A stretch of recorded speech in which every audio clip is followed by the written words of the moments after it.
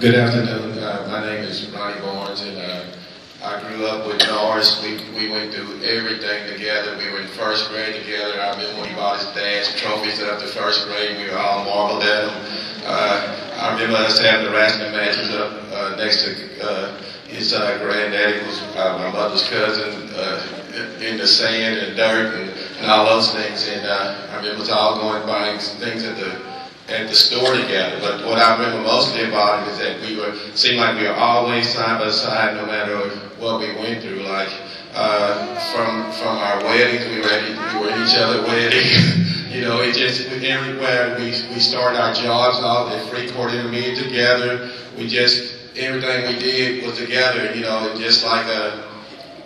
Uh, I used to regret when Norris left because we had coached together so long.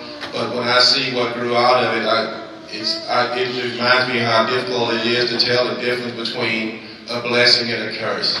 Okay, so while I'm sitting here today to say this, this really, really looks like a curse, but with our, with our, you know, our finite understanding and you know God's understanding is infinite, we this can be a blessing also.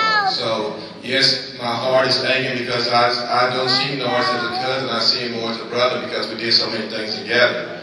But I, I humble myself to know that I don't have the ability to tell the difference between a blessing and a curse.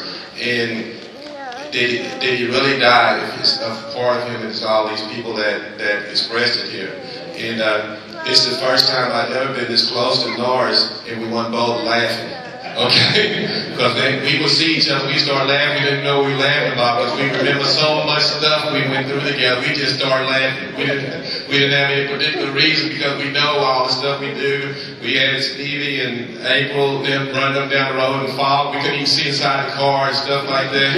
if, if Jeff Lane would have we'd all been dead anyway. So and I don't think we were going to speed limit either, so you know, but I, I just love him, and I know everyone here love him, and I have to say that, uh, you know, on behalf of the, the class of 1975, that it's going we have our reunion this year, and it's going to be a painful reunion without uh, even the possibility of him being there. I know he wasn't able to make all the reunions, but it was always that hope that he would show up. Uh, thank you, and I, uh, you know, I'm just glad to have known him as a friend and as a cousin and uh, and uh, as a co-worker and all that it, it entails. Thank you.